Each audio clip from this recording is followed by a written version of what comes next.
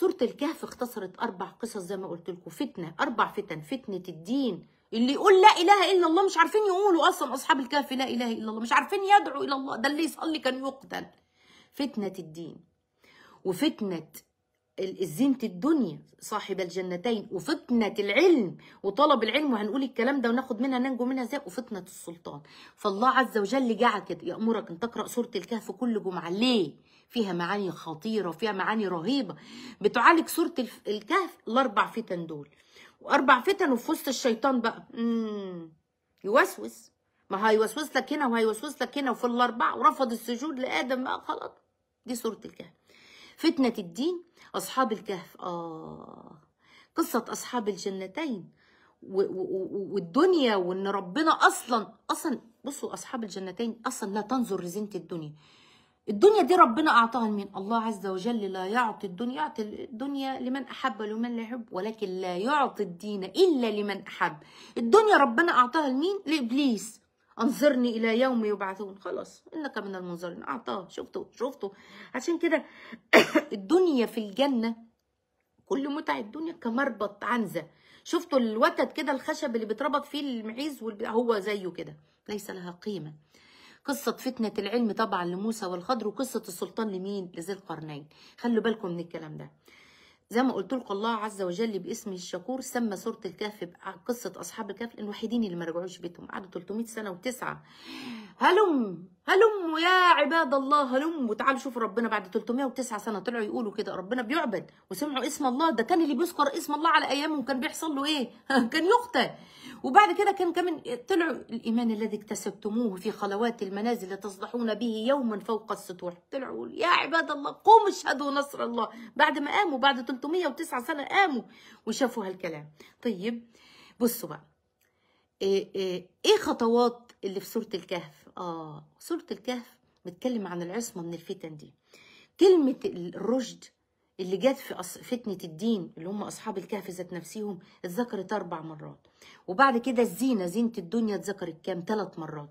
اللي خايف من الفتن يقرأ سورة الكهف. تعرفين الإمام أحمد بن حنبل؟ أحمد بن حنبل كان بيعمل إيه في الفتنة؟ كان كل يوم يقرأ سورة الكهف. سيدنا الحسن سيدنا الحسن بن علي لما تنازل الخلافة عن لمعاوية إيه، كان بيقرأ سورة الكهف. كان الناس ترجع تقول له أنت ليه؟ ليه؟ وكانوا يغلظوا له الكلام. كانت فتنة رهيبة. كان يقرأ سورة الكهف. ملك وفتنة بقى شوفي أدي أصحاب الكهف. أدي زينة الدنيا. أدي موسى والخضر. التا- وتالت حاجة السلطان. آه. مين؟ ذي القرنين من الأربعة اللي ملكوا الدنيا. قصة أصحاب ال- الجنتين. آه يقول لك إيه؟ أوعى تنخدع في الدنيا. قصة أصحاب الجنتين أوعى تنخدع في الدنيا. أوعى الدنيا تخدعك.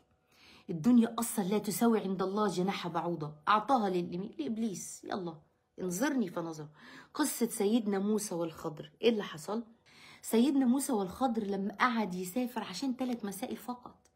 أصحاب السفينة والجدار والغلام ليتعلم إن أقدار ربنا كلها خير قدر ربنا كله خير. عشان تبقوا فاهمين. وإن اللي ظاهر لك في, في إن ده شر ولكن هو خير بعد كده في فعل الله المطلق والخير المطلق في فعل ربنا. وإن الخير اللي ما بتشوفوش عينيك المجردة هو مراد ربنا غير. وإن لطف الله الخفي هو لطف ربنا خفي في قصة التلاتة بتوع سيدنا موسى التلاتة اللي مر عليهم كان فيه لطف اسم الله اللطيف فيه. طيب فتنة العلم في سيدنا موسى اوعى تتكبر. اوعى تتكبر لا يدخل الجنة. من في قلبه ذرة من كبر. اوعى تتكبر. ودي اللي في قصة سيدنا موسى. العلم يا جماعة له طغيان. طغيان العلم. ولكن العلم اللي يتعلم صح بتربية وتزكية. ربنا ينجيك من فتنة. الناس اللي بتتكبر بالعلم وأنا عندي يا عم روح يا عم انت عارفين حاجة. ده انت بتفضل والله ولا يحيطون بشيء من علمه إلا بما شاء. وإلا بما شاء. وسع كرسي السماوات والأرض. فالعلم يضغيك العلم يضغيك هاتوا كده سورة إيه؟ هاتوا سورة العلق. اقرأ باسم ربك الذي خلق. سورة اقرأ. أولها مم. إن الإنسان لا يطغى. لا تطغى بالعلم. يا إما هاتوا آخر السورة كلا لا تطع واسجد واقترب. يا إما العلم يخليك تسجد وتقترب من الله عز وجل. وإن الله يخشى إن يخشى الله من عباده الإيه؟ العلماء. العلماء هم أكثر خشية.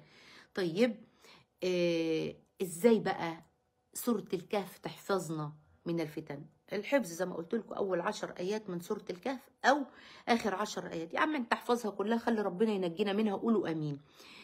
فتنة الدين. فتنة الدين. آه في أصحاب الكهف. إيه علاقة أصلا الدجال؟ إن إحنا لما نحفظ أول عشر آيات وأول وآخر عشر آيات إيه اللي يخلينا أصلا إن إن إحنا نحفظ؟ يعني إيه علاقة ده بفتنة المسيح الدجال؟ آه. أصل فتنة المسيح الدجال الدجال ملك ملك الأربع حاجات بتوع الفتن. فتنة الدين يفتنك في دينك بيدعو الناس للشرك يجي يقسم الواحد اتنين وبعدين يقول له قم يقسم البني آدم اتنين الراجل اتنين يقول له قم فيقوم. يقول له أنا ربك أنا الرب أنا أحيي وأميت. فتنة للدين بدعو للشرك. ولا ينجي الله سبحانه وتعالى إلا إلا المؤمن. يقول له والله ما ازددت فيك إلا إيمانك أنت الدجال. والمؤمن يرى يرى على على على جبين الدجال كافر ويرى مش يا رب؟ ويرى الكفر على يمينه مؤمن وهكذا النبي صلى الله عليه وسلم. إن صح الحديث طبعا حديث ضعف لكن ينقذ به فضائل الأعمال. إن استطعت أن تغمض عينك إنك تغمض عينك لما الدجال يرميك في النار لأن نار الدجال هي جنة الله عز وجل. فتنة الدين يقول له أنا ربكم فتنة في الدين. أعظم فتنة النبي صلى الله عليه وسلم هي فتنة الدجال. الرسول صلى الله عليه وسلم قال لا تقوم الساعة حتى لا يذكر الدجال على المنابر.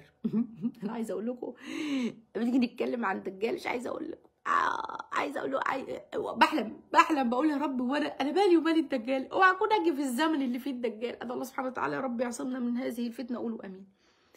علاقة فتنة الدجال بسوره الكهف في فتنة الدين ادي هو بيدعو للناس الشرك يقسمه يقول له من واشرك بالله أنا الله أنا الله استغفر الله.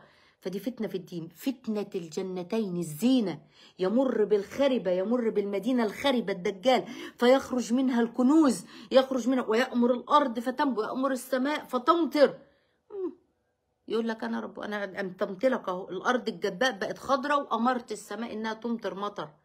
آه. فتنة. فتنة في, الدنيا وفي زينة الدنيا ده رقم اتنين. رقم تلاتة فتنة العلم. الدجال بيجيب الواحد كده يقول له مت يموت. أو يخبره عن حاله القديم. أو يخبره يا جماعة عن أبوه وأمه. يخبره اللي مات يقول أبوك وأمك أهو. آه. عالم بهذه الأمور ففتنة في العلم. فتنة الدجال بالسلطة بيقول تدين له الممالك كلها. كل الأرض وكل الممالك وما من بلد إلا يبلغه سلطة الدجال. إلا مكة والمدينة عليها ملكين ماسكين حرب عاملة كده. الحرب وحتى وصفها النبي صلى الله عليه وسلم الحرب عاملة كده يمسكها الملكين وواقفين بيها بالحرب على على باب مكة والمدينة. لا يدخلها الدجال. طيب قوارب النجاة بقى. لما جانا فتنة الدين. وده كده معلش سامحوني واحفظوا معايا لأنه لما نسمع حتى يعني مجرد كلام مختصر عن سورة الكهف لما تيجي تقرأها النهارده هتلاقيها جميلة وهتفتكر الكلام اللي أنا اللي أنا قلت لكم عليه. فتنة الدين. أربع حاجات للنجاة من فتنة الدين بتوع أهل الكهف دول. الفتية دول. عملوا إيه؟ هجروا البيئة الفاسدة. سيب! سيب الأرض اللي حصل عليها فساد وشرك وحصل. سيب الأرض اللي قتل 99 نفس وجه راح قال له لا يا توبة. قال له ملوش قام جه قتله. راح لراجل عالم قال له سيب الأرض دي وروح اعبد ربنا في أرض تانية. يبقى هجر البيئة الفاسدة. إيه الدليل؟ واذا اعتزلتموهم وما يعبدون من دون الله فأووا إلى الكهف. يا رب. اجعل لنا كهف نأوي إليه يا رب. في قلوبنا. قولوا آمين. فأووا إلى الكهف. ينشر لكم ربكم من رحمته. الله أنا هكلمكم على اسم الرحمن النهارده في سورة الكهف. ينشر لك بس يا رب ما انساش ينشر لكم ربكم من رحمته ويهيئ لكم من أمركم رشدا. اللهم اهدني وسددني وارشدني يا رب. دايما دعوة الرسول عليه السلام سيدنا علي يقول اللهم وفقني وديني اللهم سددني وارشد اللهم وفقني وسددني وارشد الرشد في الأمر رشد الأمر. يبقى أول حاجة إنهم هجروا البيئة الفاسدة. رقم لو أنت عايز ربنا ينجيك من فتنة الدين ما تقعدش في مكان فيه فساد. ما تقعدش في بيئة كلها كفر وكلها ولا تعينك على ولا تعينك على الصلاة ولا تعينك على كذا. ادعي ادعي دايما بحاجة زي كده. طيب رقم اتنين عملوا إيه؟ اللجوء إلى الله. أهل الكهف لجأوا لربنا. ربنا آه هيئ لنا. يا رب دعوا ربنا سبحانه وتعالى. فربنا أوحى إليهم أنا روحوا الكهف. اللجوء ربنا بإيه؟ كثرة الذكر كثرة الذكر تقربك لربنا سبحانه وتعالى كثرة الذكر تلين قلب كثرة الذكر تخليك دايما يا رب أنا عايزك وعايز طريقك. آه إيه الدليل؟ وكل عسى واذكر ربك إذا نسيت. أهو وكل عسى اي عسى في القرآن للتحقيق. يعني نعم عسى أن يهدينا بالأقرب من ذلك إيه؟ رشدا. اللهم اجعلنا منهم. تالت حاجة عملوها جابوا صحبة كلهم مع بعض. أهل الكهف راحوا كلهم مع بعض وجابوا صحبة مع بعضهم. الصحبة الصالحة واصبر نفسك مع الذين يدعون ربهم بالغداة والعشي يريدون إيه؟ يريدون وجهه ولا تعد عيناك عنهم. تريد زينة الحياة الدنيا. جميل. ولا تتبع إيه؟ آه عدم اتباع الهوى. ولا تطع من أغفلنا قلبه عن ذكرنا واتبع هواه. اوعى. وكان أمره فرض اللي بيتبع هواه إيه اللي بيحصل. اللي بيتبع هواه سقط. من اتبع الهوى هوى. يعني سقط. اللي بيتبع الهوى إيه؟ يسقط. ولو تطع من أغفلنا قلبه عن ذكرنا واتبع هواه طب إيه النجاه بقى يبقى دول الأربع حاجات من النجاة من فتنة الدين. طيب إيه النجاة من فتنة المال؟ أول حاجة فتنة المال اللي هي صاحب الجنتين قاعد ينصحه صاحبه. وقول له هكون فاكر كده ده ربنا ممكن يبدلها لك و... وتصبح صعيدا زل... شفتوا أو يصبح ماؤها غورا خلوا بالكم من الكلام ده مهم جدا. يبقى إن إزاي ربنا ينجيني أو قوارب النجاة في فتنة المال؟ افهم حياه الدنيا. واضرب لهم مثل الحياة الدنيا كماء أنزلناه من السماء. يا فأصبح الأرض وبعدين فأصبح فأصبح هشيما تضرون وكان الله على كل شيء. سرعة انقضاء الدنيا. بتمشي بسرعة. عدت بسرعة. قعدت مهما عشت. فين الناس اللي موجودة من 100 سنة؟ ماتوا. فين اللي موجودين من 90 سنة؟ ماتوا. فين انت دلوقتي؟ كنت إيه؟ كن لم يكن شيئا مذكور انت أصلا ما كنتش موجود. فسرعة. افهم حقيقة الدنيا. لعاعة. لعاعة. طيب. شوفوا كده سورة الأنبياء. سورة الأنبياء بيقول إيه؟ اقترب للناس إيه؟ حسابهم اقترب للناس حسابهم. وهم في غفلة معرض. طب هم في غفلة. الناس اقترب الحساب. هم واعيين؟ والله ما هم واعيين. معرضون. ما يأتيهم من ذكر من ربهم محدث إلا استمعوه هم إيه, إيه نشيطين وبيذكروا طائعين يلعبون. طب بقلوبهم محض لا هي تنقل النار. دي كارثة دي كارثة. لا هي قلوبهم كل الكلام ده وهم خلاص آه ولا وصل قالوا أضغاث أحلام. في الآخر يعني. لا. عايزه أقول لكم إن النجاة من فتنة الدنيا من فتنة الدنيا إن أنت تذكر الآخرة. زي ما إحنا قاعدين دلوقتي بنذكر ندعو الله سبحانه وتعالى يا رب يجعلها جلسة ذكر اللهم آمين. ويكتبها لنا ونخلص على الشروق ونقوم نصلي الركعتين الضحى في حجه وعمرة تامة تامة تامة تامة مع النبي عليه السلام. اللهم آمين. النجاة من فتن الدنيا إنك تذكر الآخرة. إيه الدليل؟ ويوم نسير الجب... الجبال. إيه؟ وترى الأرض هامدة. وترى الأرض بارزة فلم نغادر منهم. إيه؟ أحدا. ولقد جئتمونا فرادا. يا نهار كل واحد هيقف قدام ربنا فرادا. وقالوا يا ويلتنا ما لهذا الكتاب لا يغادر صغيرة ولا كبيرة إلا أحصاها أنتوا عارفين صغيرة وكبيرة الفضيل العدنان بيقول ضج الناس بذكر الصغيرة قبل الكبيرة. ضج الناس بذلك إن ذكروا الحاجات الصغيرة ذاكر كل حاجة. هفواتك وغفلاتك وكلامك وعدم كلامك وحتى مجرد إنك بتحرك إيدك في الرمل كده زي ما ذكر النبي صلى الله عليه وسلم لسيدنا لسيدنا عمر. طيب ثالث حاجة قوارب النجاة من فتنة العلم. أول حاجة للعلم طغيان أنا قلت لكم.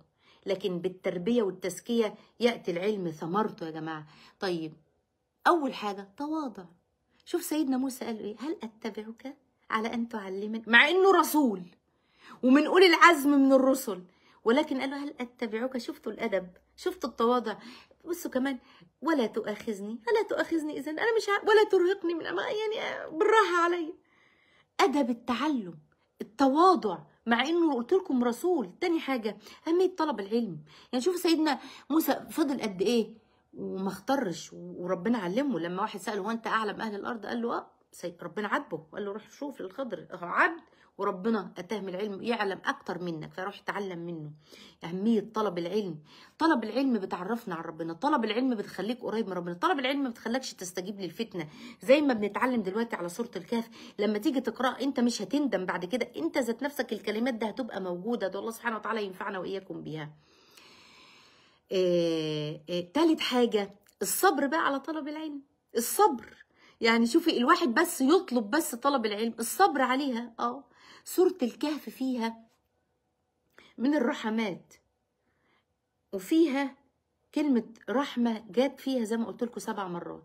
وإحنا مطالبين نقرأ نقرأ سوره الكهف كل إيه؟ كل سبعة أيام يعني كل أسبوع. فتجيلك رحمة من السبعة في السبعة أيام.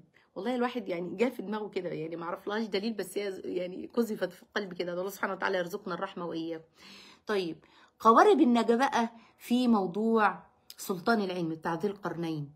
آه ذي القرنين قال إيه؟ نسب الفضل لله قل بفضل الله برحمة ربنا. نسب الفضل لرحمة ربنا. أنا عمري ما الكلام ده جيلي من نفسي ده برحمة ربنا. تاني حاجة تذكر الآخرة وإن هو دايما يذكر الأمر للآخرة. إيه كلمة ال- ال- الكهف أصلا ذكرت في سورة الكهف كم مرة؟ ست مرات. الزينة إيه إن جعلنا ما على الأرض زينة لها. شفتوا؟ زينة لها مش زينة لنا. وإحنا عمالين ما شاء الله علينا عمالين نذكر في الدنيا و... ونعمل في الدنيا. مش بتاعتنا أصلا هي مش بتاعتنا هي مش دار قرار أصلا. إيه الفتن الأساسية اللي بنتعرض ليها في سوره الكهف وقوارب النجاة اللي أنا قلت لكم عليها لكل فتنة نخلي بالنا منها. فضل الصورة بقى. زي ما قلت لكم نور من الجمعة للجمعة. نور نور من هنا لحد مكة. تعصم من الفسيح من المسيح من فتنة المسيح الدجال. البيت الذي لا تقرأ فيه سورة الكهف لا يدخله شيطان. يعني أنت لما هتقرأ كمان سورة البقرة كل الكلام ده أدعو الله سبحانه وتعالى يرزقنا سورة الكهف وأنوار سورة الكهف. وإن يجعل ربنا لنا كهف في الدنيا نأوي إليه. وإن ربنا يرزقنا النجاة من فتنة الدين وفتنة ال- الدنيا زينة الدنيا ومن فتنة العلم وسلطان العلم ومن فتنة إيه، القوة والسلطة وهكذا أمور. يعني أدعو الله سبحانه وتعالى يا رب إن أنتوا بتقرأوا النهاردة سورة الكهف تتذكروا المعاني اللي أنا قلت لكم عليها ديت.